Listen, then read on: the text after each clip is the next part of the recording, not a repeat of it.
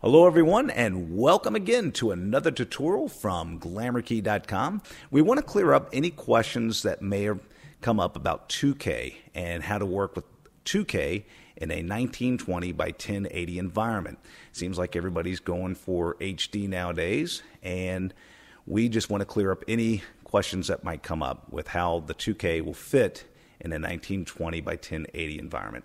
So let's take a look on our site, we're going to go to the guide to file types. And I want to show you a couple things in here. And let me zoom in, and you can see all the different file types that are out there. You've got DV, 720, 1080 HD, which is one that we're going to talk about, 1920 by 1080. Uh, you have your 2K, which is what we're selling on GlamourKey that's available for immediate download, and that is uh, 2048 by 1024. You can see that those two frame sizes are very similar, but a little bit different, and we want to show generally how they're going to play out in a timeline. The other one is the big one, the 4K, which is 4096 by 2048. Now, we also offer that 4096 by 2048. Uh, that is available to be shipped onto a DVD or a thumb drive. So if you want the original raw footage that was shot from the red camera, that is available, and we can uh, definitely send that to you. And we're also including the uh, the shipping. The shipping is free, so we'll take care of that for you. But we'll get the DVD or the thumb drive out to you. Okay, so let's zoom back for a second. And how does this play out when you look at the 1080 HD versus the 2K? Now, on our site, we put up a little graphic here, which is the compare 2K to 1080 HD. And I'm going to zoom into this one so you can see this a little bit better. Now, in the white, you have the 16 by 9 ratio, and that's the 1080 HD. And in the green, you'll see the 2K, which is a 2 to 1 ratio. And the uh, frame size again is 2048 by 1024. Now, when you look at this, you see that our green rectangle is pretty wide and it extends out just a little bit from the right and the left side of our 16 by 9 ratio.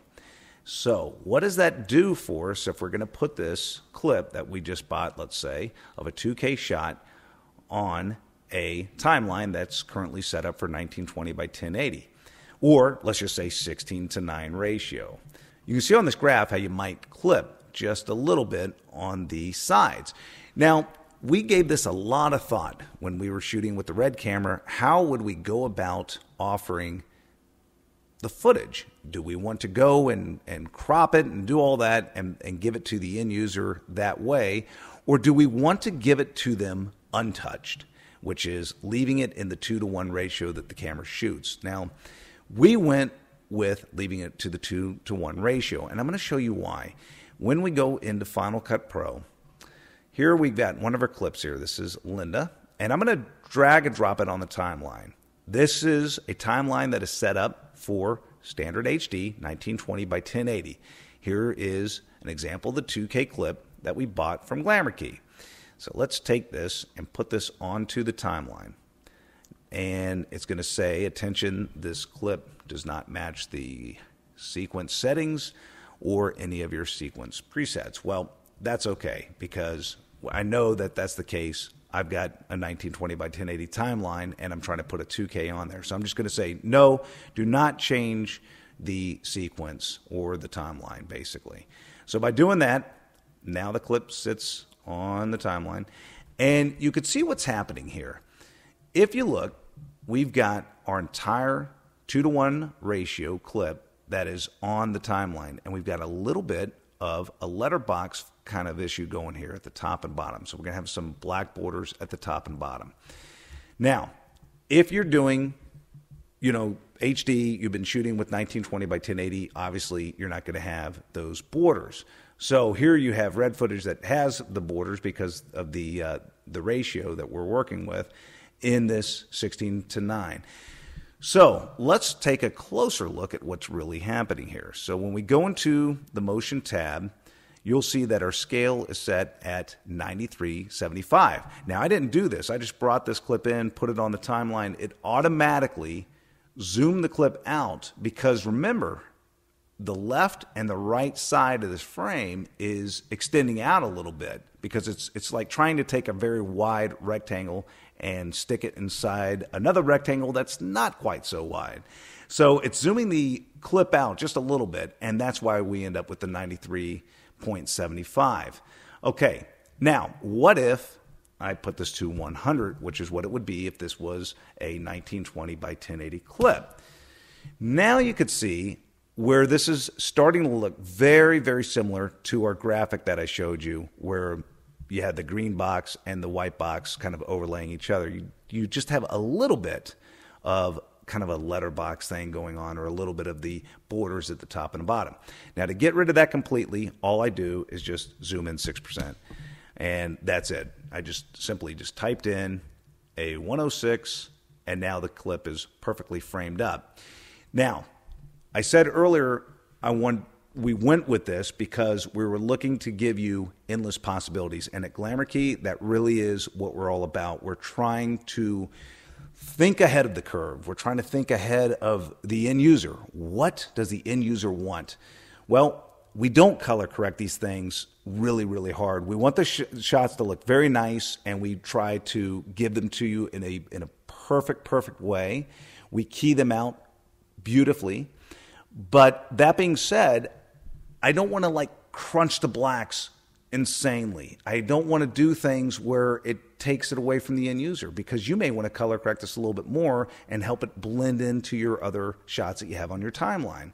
So we thought about that with color correction. We thought about, okay, what about the frame size? How's that going to work? Well, if we go and crop these, the left and right side, and set this up for 16 by 9, well, what if the end user was shooting with the red camera? Well, now they've got you know, uh, more of a squarish rectangle that they're trying to now put into a very wide rectangle. So by doing it this way, now what the end user can do is we can actually, because we kept it in the two to one ratio, we zoomed in at 106 or just 6%.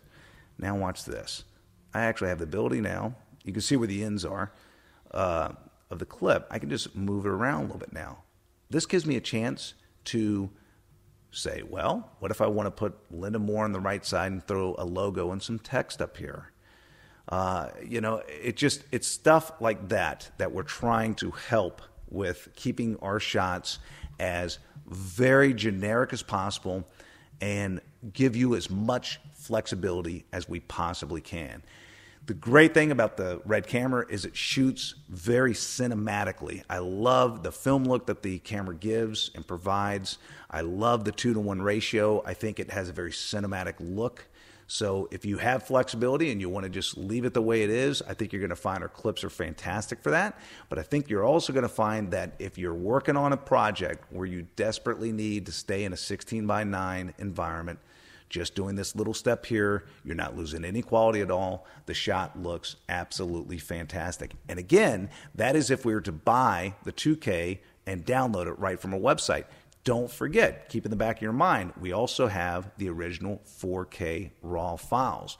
So if you want to have unbelievable flexibility and really zoom in and do pan and scan and crazy wild stuff, you have that option. And that is the beautiful thing about GlamourKey keeping the possibilities endless. I'm Jon Schellinger. Thank you for watching this tutorial. And again, keep your eyes peeled for more tutorials in the future.